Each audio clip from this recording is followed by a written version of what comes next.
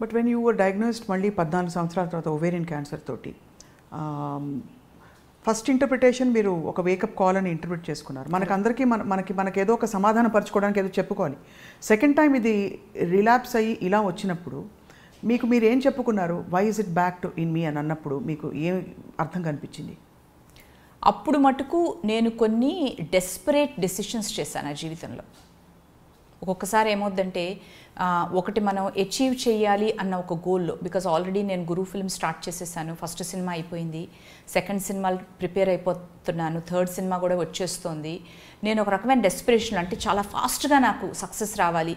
ఒక నాలుగైదు చేసేద్దామని నన్ను నేను చాలా ఒక థ్రెష్ హోల్డ్లో పెట్టేసుకున్నాను. అంటే ఒక రథం ముందుకెళ్తున్నప్పుడు ఆకులు గుచ్చుకుంటాయి చూసారా రథంలో. అలాగ నన్ను నేను ప్రెషర్లో క్రియేట్ చేసేసుకున్నాను.